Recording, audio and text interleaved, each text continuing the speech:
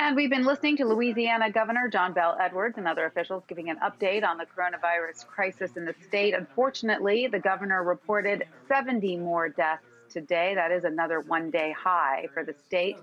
But the good news is there are signs that the stay at home policies are helping and the curve is starting to flatten a bit. And so the social distancing order remains in place till at least April 30th, at which point the mandate will be revisited.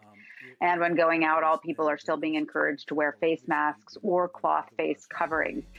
Now, state officials say that infections are increasing in Baton Rouge, even as New Orleans numbers are starting to normalize. The governor says Baton Rouge, though, is benefiting from the fact that the separation policy was already in effect as cases began to grow there. So Edwards doesn't think it will ever become as bad as it was in New Orleans, which has been the epicenter for that state. Louisiana does have enough beds and ventilators for the next 10 days, but beyond that, Edwards cannot say. In terms of the state economy, it has been hit hard, as have so many states across the country.